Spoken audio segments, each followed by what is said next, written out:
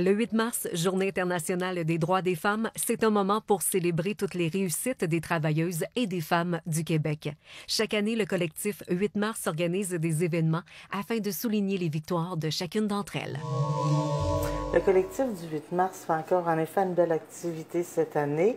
Ça va être un souper michoui spectacle avec Marthe Laverdière qui va se passer là à la salle des Chevaliers de Colomb. Donc, euh, une belle soirée d'humour avec le nom de la conférence. Ça s'appelle Et si on restait soi-même? C'est pourquoi?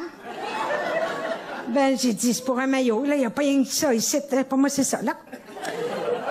Dit, pour quelle occasion? J'ai dit, pour un 30e anniversaire de mariage, je voudrais remonter ma libido. Elle est vraie. Hein? Ah oui, vraiment, vraiment, vraiment. Elle est vraie. Elle montre bien comment l'importance, justement, de prendre sa place dans ce qu'on est, ce qui est important pour tout le monde, dans le fond, pour Absolument. être mm. Les billets sont en vente dès maintenant, donc il reste encore quelques billets quand même. Euh, un souper plus un spectacle à 40 c'est assez rare, hein? Ah, tout à fait. C'est comme un privilège. oui. Cette année, on accueille les messieurs. Donc, euh, mesdames, si vous voulez venir avec votre conjoint, vous êtes les bienvenus.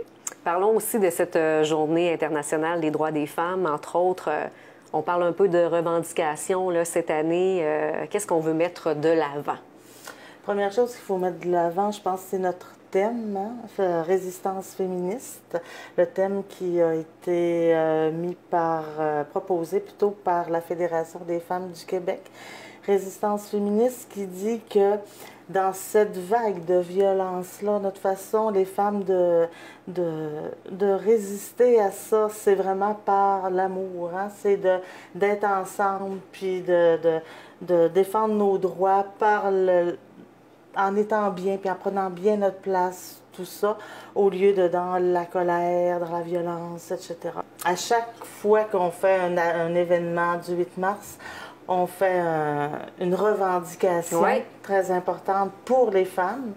Donc, euh, l'année dernière, le Centre de femmes aux quatre temps a fait euh, une action euh, pour une meilleure accessibilité à Taxibus d'Alma.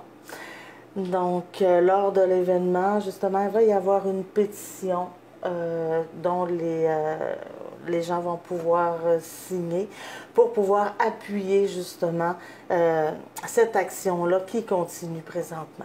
C'est en 1975 que les Nations unies reconnaissent la Journée internationale de la femme. Et c'est en 2016 que le nom est remplacé par Journée internationale des femmes. Le 8 mars met en lumière les combats, les espoirs et les revendications des femmes. Le 8 mars nous rappelle que même aujourd'hui, il faut continuer à lutter pour nos générations futures.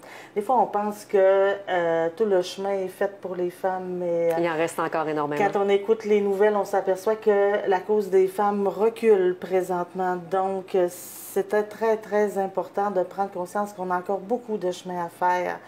Puis euh, j'invite les hommes aussi à prendre conscience qu'ils peuvent porter des actions pour leurs filles, leurs petites filles, leurs femmes. Absolument. Donc, euh, c'est pas si loin, c'est présent. Les billets pour le souper Méchoui et le spectacle de Marthe Laverdière sont en vente au coût de 40 et disponibles au Centre de femmes aux quatre temps situé au 279 rue Collard à Alma. Aussi, l'artiste peintre Gabrielle Côté sera présente afin de peindre une toile inspirée du moment et sera offerte à la fin de la soirée.